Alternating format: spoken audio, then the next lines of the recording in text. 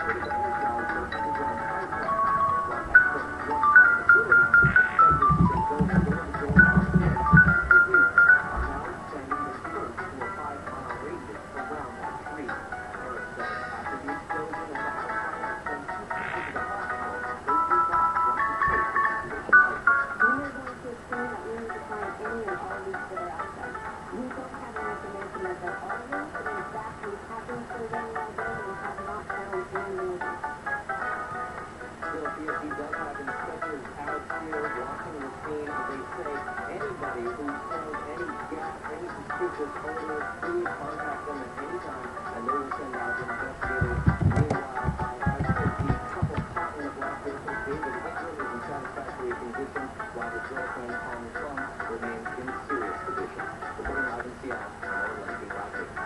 Also, the children respond out